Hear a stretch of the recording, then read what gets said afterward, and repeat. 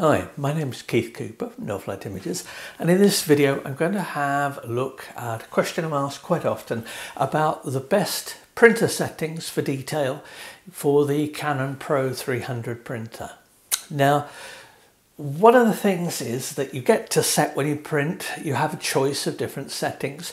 You also have a choice of how much detail you send to the printer driver and uh, these figures are often argued about as to what's best, what's worst, and I decided, well, a lot of this information might be somewhat out of date, and um, I'd have a go and see what it's like. So, have I done it? Taken a photograph, which is a 50 megapixel image taken up in the Yorkshire Dales in the UK, and there's a lot of detail in the picture. In fact, as a 50 megapixel image, there's more than enough you know detail in it to print at A2 size. So these little test prints I'm making, which are 5 by 7s are there's vastly more information than you need in it in detail. And what I wanted to see was if I send more detail, do I get sharper pictures? Um, and this is something that's argued over quite a lot. And I always say, if you're unsure of these things, test them. Anyway, how have I gone about it? What I've taken is this image here, which if you shrink it down and just, uh, you don't lose any information. If you shrink it down to about five by seven, you get a size of about 1200 pixels per inch of detail. Now that's a ludicrously high number and you would never normally print at that resolution. I wanted to see that uh, if I reduced the resolution, what difference it would make. So Here's the image, uh, the 1200 uh, pixels per inch one, and down to 600, and that's 300, and that's 460. Why the numbers? Well, you'll often see people say you should send stuff to the printer at 300 ppi. That's pixels per inch, that's not dots per inch. Dots per inch is, as I'll show when I show some detailed images here, Dots is actual ink dots. Uh, and several ink dots go to make up a pixel if it's going to show different colors and things like that. So dots per inch tends to be much higher. Pixels per inch is the actual image resolution. Now, as I say, this is a 50 megapixel image. And one of the things is the number 300 appears a lot in the Canon drivers. Um, if you look at it, you'll see at the 300 various resolutions and settings. You'll see this number appears. And a lot of people have assumed that there's something special about the number and that's the number you should use. And if you've got an image at say 320 pixels per inch, it was better to reduce it to 300 and print it at 300. Um, I've wondered about this. I can see reasons why it might have been true, true 15, 20 years ago, but I don't think it's currently so. So yeah, as with all of these things, if you're unsure, experiment. And I would say, have a look at the written article I've got that goes along with this. That's got much more detail in the images. You can click on them, have a look at them, and uh, have a look for yourself and see what you think about the actual values here. Because there's a difference between being able to see a difference in really fine detail when you look at it and you magnify it a lot and in an actual print.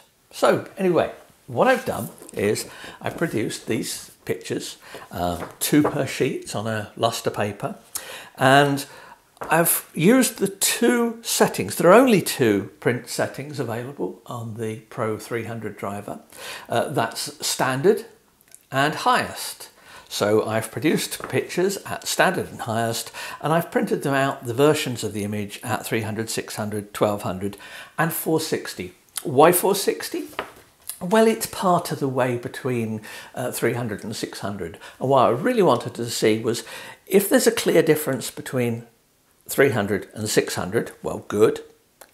If 600, if 460 comes out similar to 360, it shows there's a stepwise progression in it.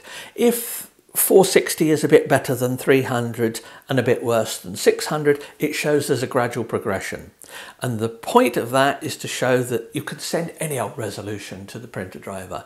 My suspicion is, and this comes partly from looking at other printers as well, is that printer drivers these days are capable of much more sophisticated resampling and calculations they do and can handle these odd numbers. And in fact, they're not odd numbers anymore. Uh, they were, as I say, 15, 20 years ago, but not now. But anyway, here's the, uh, here's the image. Now, this image here, I'm going to look at some really tiny detail on it. It's a um, you know dry valley. There are some sheep and there are some cows in it. I very much doubt you can see them on here. I'll inset a few details on here, but if you want to see the proper details, have a look at the written article because it's got the actual images there. But let's have a look. I zoom in, there is the detail that I'm talking about. Um, there's some cows, some dry stone walls, feature of the area. And when you're looking at detail, there are some small vertical posts in it. Now this is massively zoomed in to the 50 megapixel image. There's a lot of detail there. I'll just zoom out again so you can see it is a tiny part of the, even on this screen, it's no more than an inch or so across. But there we go, back up to, there's a zoomed in version. What does it look like when I print it? Now remember I'm printing this at standard and I'm printing it at the highest setting.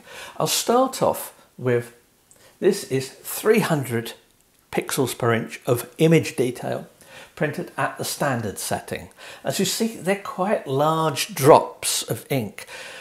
One of the things with Canon printers at this level is there is no variable ink size. You get uh, droplets of ink, they're positioned, they give a, an image. It's only at the higher levels where there is more control over it. So you tend to get a fairly coarse dot pattern. Remember again though how much this is magnified. Um, this cow here is barely visible on these shots here. Uh, I would need to put strong glasses on to see it clearly. I can just about see it. These are my computer mid-distance glasses. And I can just about see a brownish dot on the picture. So there's not much there. So this 300 at standard detail. Let's go to highest detail. There's not a lot of difference between them on this particular paper. Now, in looking at the images on a larger scale, which is of course what you would normally do in, in if you're printing to make photos here and prints, you're not going to be looking at them at minuscule detail. The image is slightly smoother, it's less bitty, less grainy look to the image if you use the highest setting. That's noticeable in the skies, various other features like that. So between the two settings here, in looking at this, I've immediately decided that the highest setting is worth doing. Now, for some printers, if you go for the highest print setting, you're getting no more real detail. Here, we've only got standard and highest, um, and the highest does look better in pictures, so it's, it's really a simple choice just to use the highest. Now I'm going to step through the resolutions. This is 300, that's at highest, so 300 at highest resolution, 460, 600, and 1200. I'll just go back again, 1200, 600, 460 to 300. What differences am I seeing? Not that much, but there is real detail in the image, and this is the one at 600. Uh, you can see signs of the vertical posts uh, showing up in the image here. And what it tells me looking at these is that there is a steady improvement in image detail as you go beyond 300. Why is that important? It means if I have an image that I want to print and its natural resolution is, let's say, 412 pixels per inch, then print it at 412. You'll get more detail. Now, there's lots of other things that affect photos, which I'll just mention a bit later, but in terms of pure fine detail, it looks as if anything up to 600 is fine. Now, in looking at these in more detail, I'm fairly sure there is a minuscule change between 600 and 1200. There's no steady improvement beyond 600. It's just not there. My, I, I think it's because the dots, the ink dots, are just too coarse. You're not getting the very fine detail on it. But, and I do keep reminding this, this is the sort of detail that to see it visually, I need to get my old hand lens out. And this is back from when I used to be a geologist. And it is very difficult to see the difference.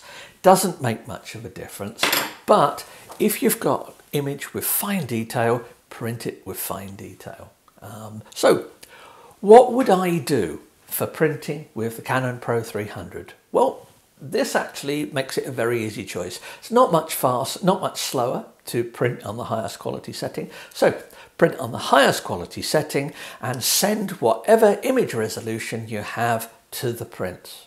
Now, I mentioned before there are lots of other things that affect prints. Sharpening, contrast, processing.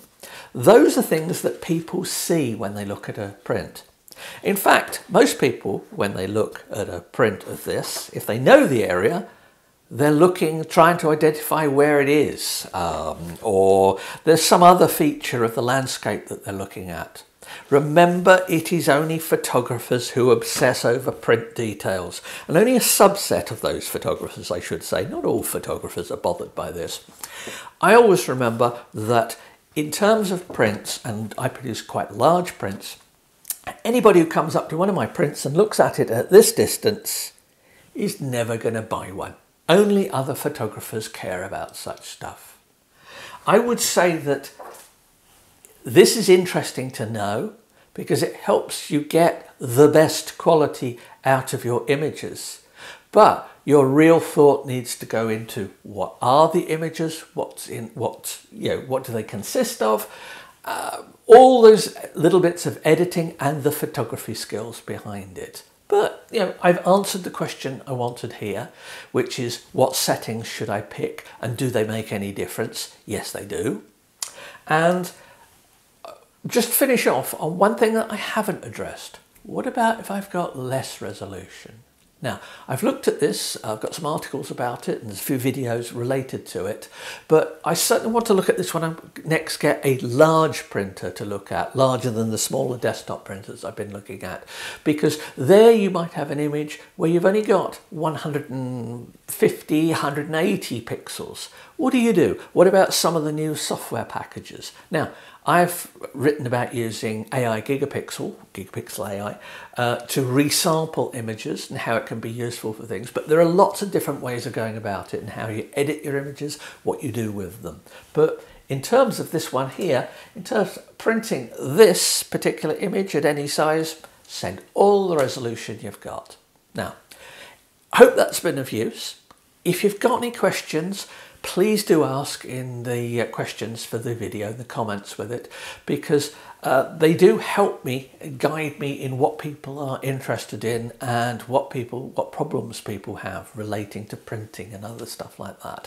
Got lots more. Please subscribe to the channel if you find it useful. Um, I've got many more things like this I intend to cover and uh, I hope they're useful for you. So thank you.